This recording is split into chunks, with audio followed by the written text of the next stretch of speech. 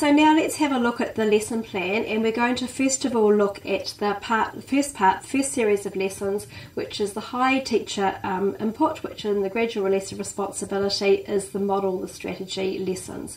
It's important to note that this might take over several lessons for you to get through. It's not intended to be one lesson. If you're using the hard copy, you'll be referring to the poster size text as you take lesson plan one. If you're using the digital version, it will take you through the lesson um, with the text on, on the screen.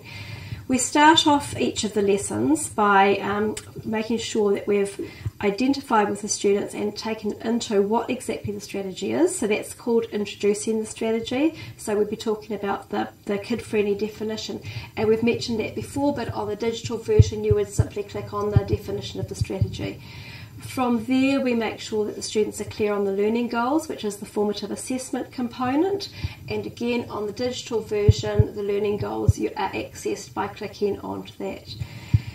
Then, as we go into the lesson, we have a series of different components that we take students through to prepare them to read and then to support them as they're reading. So, they're all identified for you on the written version, or you click onto the digital version into lesson plan one, and that's the, the series we're going to go through.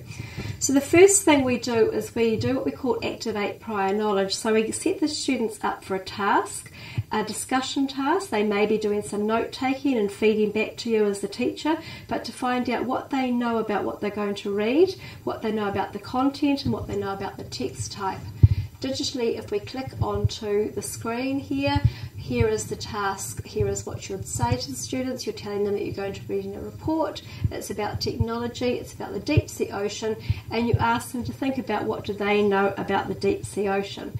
That provides ample opportunities for discussion with the students.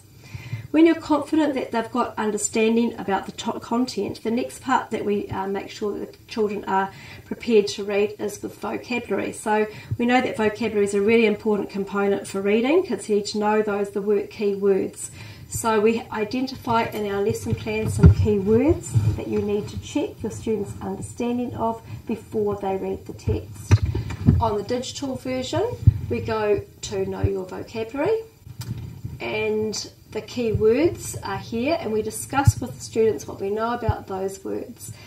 The paper version has each of the words and a, a um, photograph and an explanation of each of the words provided on the back so you can clarify the vocabulary after discussion with the students. The digital version requires you to um, click on the word and as you do that, up will come a, a photo or a, a visual image which explores the concept behind the word and an explanation for students in kid friendly versions so they can understand that. If we click back onto the vocab list, you will see that there is other vocabulary for students to think about too.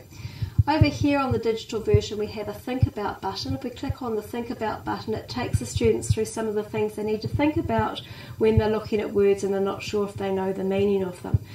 So we've now got the students, they've activated their prior knowledge about content, we've checked their knowledge of the text structure, and we've checked their knowledge of vocabulary. So, so they're ready to read. So the next part of the lesson plan in, in outlines for ready to read, we introduce the graphic organiser that the students are going to follow. We introduce the strategy or reintroduce the strategy again for them so they see what they're going to be doing. When we go to the digital version, if we click on read the text, up comes the first part of the text. You'll see that the text is divided in the digital version into chunks and in the lesson plans we also do that. We get you to take the students through paragraph by paragraph, looking at the visuals, looking at the text structure, reading the text to ask specific questions about what they are reading. Once we've been all the way through the text, um, either digitally or using our poster, we go to the discuss and reflect part of the lesson menu what the thinking behind this is is that we want the students to have ample opportunity now to talk about what they've learned about content. So the content in this particular text is about exploring the ocean. We then want them to have ample opportunity to talk about what they've learned about the key concept. The key concept they've been reading about is how technology helps to explore the world. And the third thing we want them to talk about is what they've learned about the definition. So, as a result of this sequence of lessons, what have they learned about um, monitoring and clarifying? From there, we can go back to the learning goals to revisit, or we can go on to the follow up activities. Now, the paper um, version, the hard copy version, outlines the follow up activities, as does the digital. We provide two writing reading links. So we've got activities where they draw on the information in the text and they do some writing, and we also provide a vocab follow up activity. There is one other activity that we provide which is if we click, click on here we can see and that is the rereading. So if we were to click on the reread here, would take you back to the same text. Now that's really, really important that students learn to read the text several times to get more information in the second and third reading. So there are some follow-up activities with reading and writing. If we just click on here, we'll just find one of them